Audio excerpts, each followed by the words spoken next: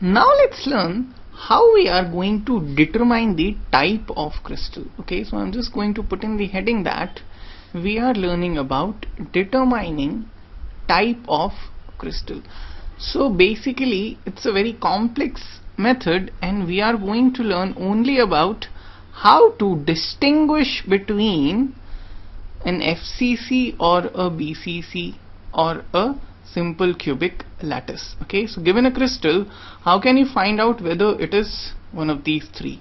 Okay so first of all you must understand or rather know that your diffraction only happens from certain types of planes. Okay so diffraction only happens for planes which are known as your principal diffraction planes not all crystallographic planes would result in diffraction okay not all planes are scattering your x-rays okay only certain type of crystallographic planes which are known as your principal diffraction planes are going to scatter the x-rays or are going to produce diffraction. So what is a principal diffraction plane?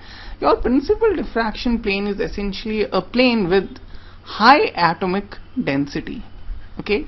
So it is a plane through which large number of atomic centers pass through. Okay. So it is a plane with high atomic density. Okay.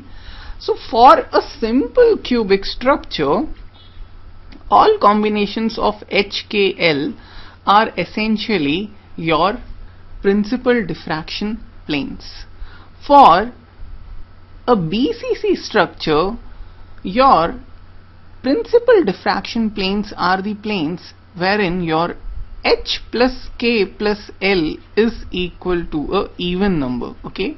So all planes HKL of the type where H plus K plus L is even is going to be a principal diffraction plane. For example, 2, 1, 1 is a principal diffraction plane for a BCC because 2 plus 1 plus 1 is what? This is equal to 4 okay? So that is going to be a principal diffraction plane. But 1 1 1 is not a principal diffraction plane because 1 plus 1 plus 1 is 3 which is not even okay? For an FCC unit cell the principal diffraction planes are the planes where H, K and L are all even or are all odd okay? Your 0 is considered as even okay? So 101 is not going to be a principal diffraction plane because this is odd this is odd but this is even okay? For this concept we consider 0 as an even number okay? And your 111 is going to be a principal diffraction plane because 1 is odd, 1 is odd and 1 is odd. All three H, K and L are odd. Similarly, your 2, 0, 2 would be a principal diffraction plane for an FCC lattice because this is even, 0 is even and this also is even. So, all three numbers should be either all even or all odd. Okay. So, these are the criteria of a principal diffraction plane for a simple cubic, body centered cubic or a face centered cubic lattices. Okay.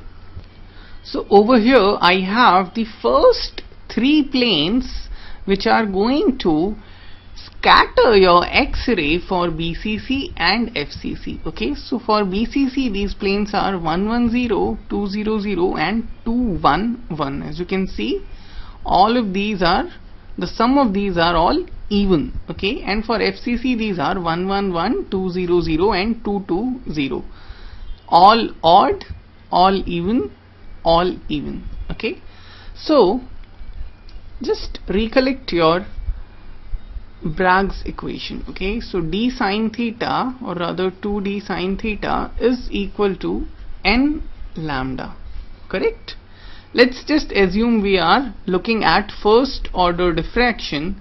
So I have 2d sine